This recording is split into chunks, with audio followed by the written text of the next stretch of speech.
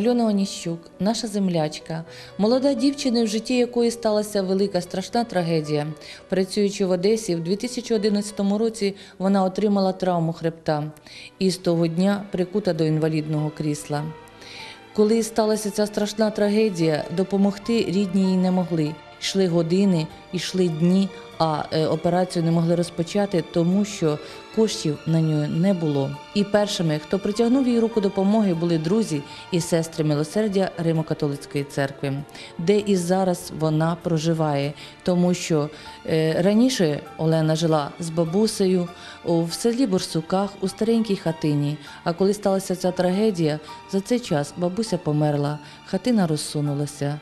І сьогодні в Альони немає де проживати. У неї немає свого постійного житла, і вона не може забрати до себе свою малолітню восьмирічну донечку, з якою вона хоче жити разом, виховувати її.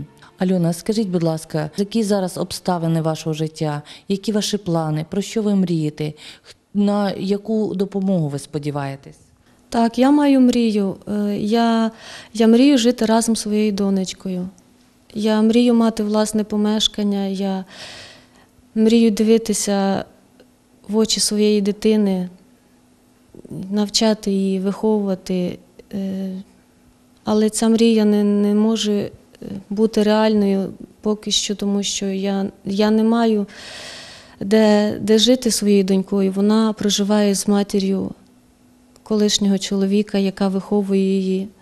Все тепло, любов на даний момент віддає вона їй. А з донечкою я бачуся час від часу е, на виходні, на, коли є можливість, тому що я проживаю з сестрами-монахинями. І вона не має можливості проживати біля мене. Тобто ми проживаємо на, на різні. Вона біля бабусі, а я сестрами. Е, Кожного разу, коли ми зустрічаємось з донечкою, вона запитує мене, мам, коли ми будемо разом? Я хочу бачити тебе, я за тобою сумую. І від цих слів е, розривається серце, тому що це моє рідне янголятко, це сенс мого життя, а е, немає можливості бути поруч з нею.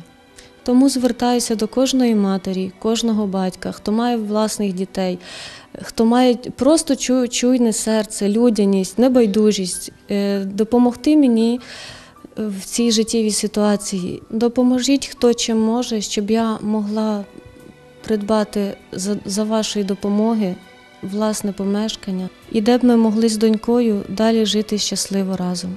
Шановні глядачі, всі, хто нас зараз бачить і хто нас чує, я звертаюся до вас. Допоможіть цій молодій мамі, цій жінці, яка справжній борець. Вона кожного дня бореться за своє здоров'я, вона робить вправи, вона мріє, і я сподіваюся, що вона стане на свої ноги. А зараз їй треба допомогти, надати їй підтримку матеріальну, щоб ця молода жінка мала своє житло, щоб вона, так як і ми всі, відчувала поруч свою дитину, щоб вона могла її виховувати, щоб вона могла разом із нею просипатися і співати їй колискову на ніч.